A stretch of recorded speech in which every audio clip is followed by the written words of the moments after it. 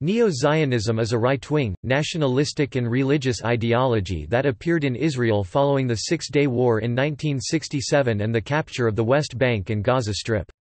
Neo-Zionists consider these lands part of Israel and advocate their settlement by Israeli Jews. Some advocate the transfer of Arabs not only from these areas but also from within the Green Line. The term, post-Zionism entered Israeli discourse following the publishing of a book by Uri Ram in 1993. In the same volume, Gershon Shafir contrasted post-Zionism with what he termed Neo-Zionism. In a widely cited 1996 essay, sociologist Uri Ram used the term Neo-Zionism to describe a political and religious ideology that developed in Israel following the 1967 Six-Day War. He considers it as an exclusionary, nationalist, even racist, and anti-democratic political cultural trend in Israel that evolved in parallel with, and in opposition to, the left-wing politics of post-Zionism and labor Zionism. Ideology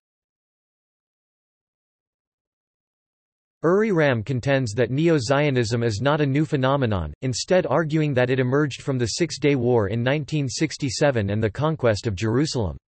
Ram contends that Jerusalem is the symbolic capital of Neo-Zionism, while post-Zionism is orientated around Tel Aviv.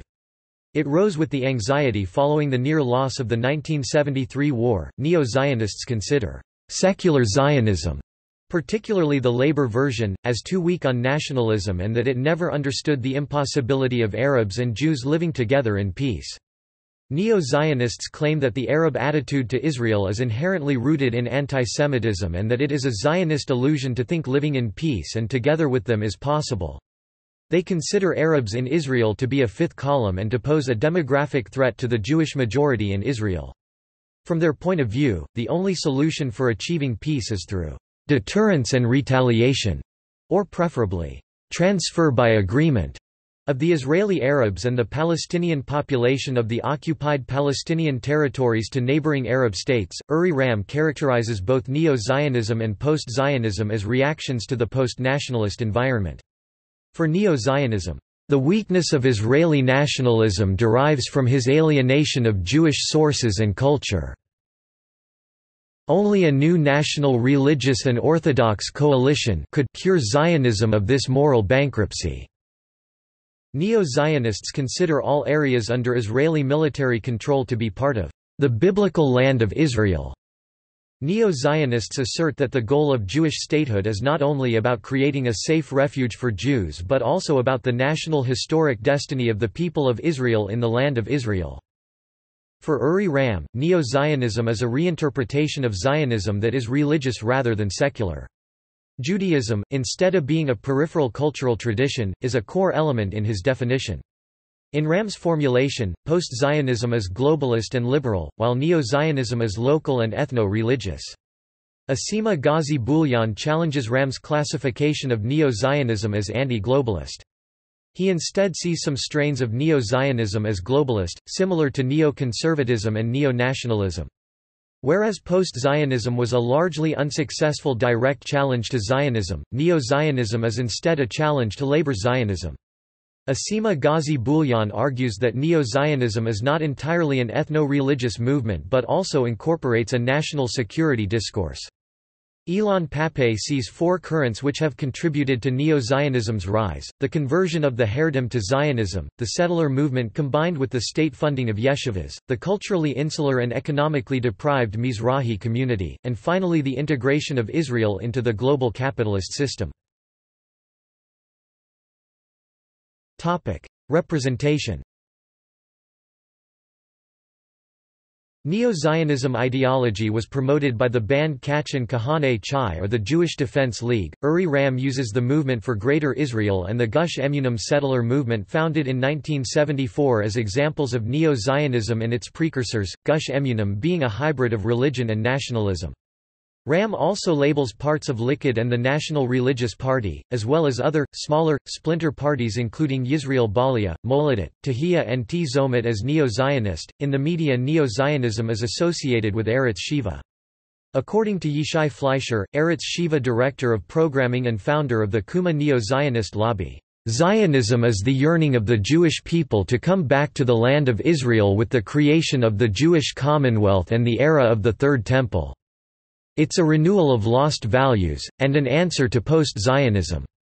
If post-Zionism is the theory that Israel was created and the project is now finished, then Neo-Zionism states that we are far from done with the project. The Jewish people are not yet back home, and we have yet to educate Jews to the concept of living a Torah life in the land of Israel. Some associations in Israel, such as Im Tirtzu, defend Neo-Zionist ideology. Ronen Shoval, founder of the association states that, "...we need every Jewish heart and Zionist soul. Coordinators and activists of Im Tirtzu are hereby called to the flag, W.E. will turn the Hebrew University into a Zionist society, and continue the Second Zionist Revolution. His aims are to restore Zionism to the center, for poets to poetize Zionism, for the writers to write Zionism, for academia to support Zionism and for the Ari Folmans to make films about our ethos. Just as there are movies about gladiators, we will have movies about Judah Maccabee. What's wrong with that? Critics According to Uri Ram, Neo-Zionism is an exclusionary, nationalist, even racist, and anti-democratic political cultural trend, striving to heighten the fence encasing Israeli identity. A point of view also reported by Gilbert Achcar, according to Dana Eile. Her country is hijacked by a group of racist religious Jews, who are much more of a threat to Israel than any Arab or Muslim country, including Iran. She gives the example of children of illegal immigrants born and living in Israel for years and that neo-Zionist groups want to see expelled because their presence is un-Zionistic. She thinks that T his very narrow definition of Zionism dictates that Israel is and will remain a racist Jewish state. But also, that in Israel itself there is a lazy majority that is far from this. Zionism for us equals patriotism much like it does to Americans, wanting the best for your country, believing in its principles and defending it when necessary. Only we don't believe in many of the neo-orthodox principles popping out like mushrooms in the rain. For that matter, we no longer feel very Zionistic in an environment that embraces totality and purity of race a calamitous similarity to things that should not be named. Post-Zionists have argued that Israel must choose between a post-Zionist future and a neo-Zionist future. Today, Israeli opinion has come to view both post-Zionism and neo-Zionism as pejorative slogans. Topic. See also New antisemitism Political ideology Self-hating Jew Topic. References Topic. Further reading Topic. Journalistic views about Neo-Zionism Gershon Baskin. Neo-Zionism, Religion, and Citizenship. Foreign Policy in Focus, September 26, 2007.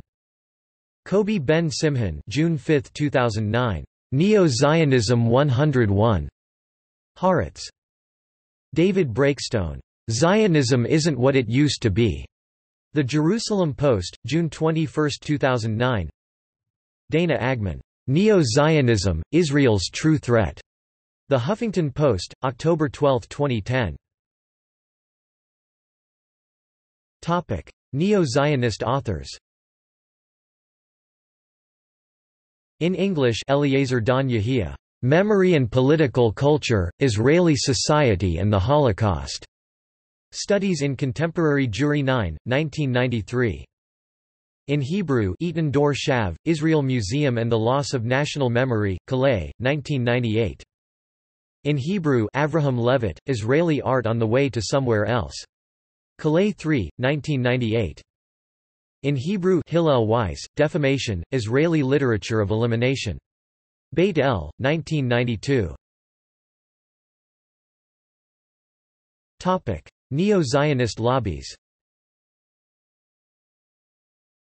Kuma Im Tirtzu